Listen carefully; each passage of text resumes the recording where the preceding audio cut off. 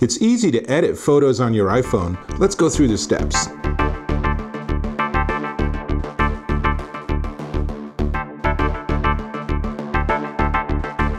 Dave Taylor here, and I use my iPhone XS for photos all the darn time. I take hundreds of photos a month, if not thousands. Thing is, is that whatever photo you take, it's almost always the case that there's a little bit of cropping, maybe adjusting color a little bit, turning up or down the brightness a little bit. There are little tweaks you can make that makes your photo way, way better. So, a lot of people, as far as I can tell, post images directly, whatever they actually photographed.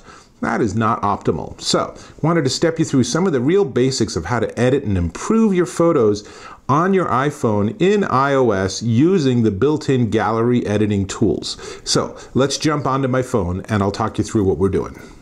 All right, so the first thing I'm doing here is I'm trying to actually get a reasonable frame for this picture of hot sauce. But of course, ultimately this photo, as you can see, is kind of far away. So I'm gonna wanna crop that pretty tight because I really just want the bottles of hot sauce and nothing else going on here. So first thing that you do is once you've taken a photo, tap on the preview of the photo on the lower corner, whether you're horizontally or vertically oriented. I have this horizontally oriented so it's better actually with the video. Now, you can see here I've tapped on the crop tool and then you can just sort of tap and drag as you go along and tighten it up however you want. As soon as you stop, it zooms in.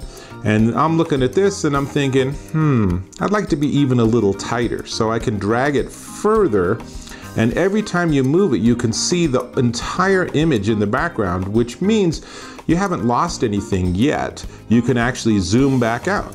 Now I want to adjust the color. I want to make it a little more colorful. So you can see I've tapped on the little sort of um, incremented meter there. So first one I did is color and now I'm going to do brightness just to make it a little lighter to make it look better.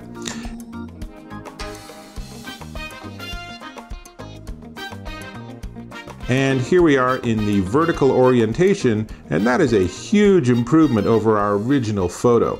That's all it takes. It's really easy. So, so what I would recommend is I would recommend you take some photos or just use the photos already on your phone and just practice practice all these different techniques.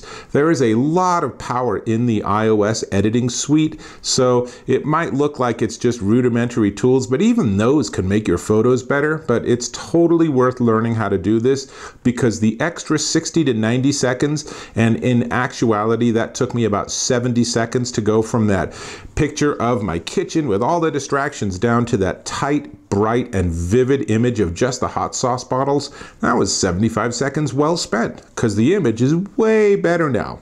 So that's all I got. Nice, quick, short and sweet tutorial. I hope this is helpful. Go ahead and subscribe if you're so inclined, and I will catch you in my next video.